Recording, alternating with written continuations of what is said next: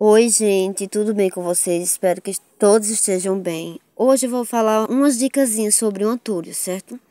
Esse antúrio, ele tem uns 40 anos, é muito antigo ele. Olha só os troncos desse antúrio.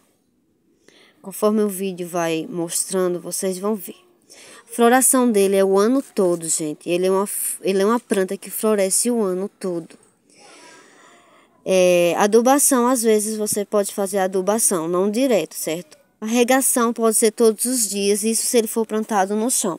Como esse é plantado no chão, pode regar todos os dias, para não deixar com acúmulo de água, né? É, vários troncos ele tem, vários troncos. Acho que ele tem mais ou menos um metro e meio de altura, gente.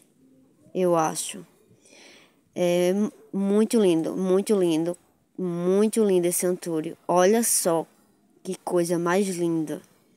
Cheio de filhotes, cheio de flores, bastante folha, certo?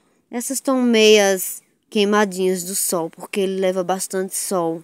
Foi plantado é, num lugar de sol e não de sombra. Olha que lindo essa florzinha rosa. Lindo. Tem umas florzinhas para abrir ainda.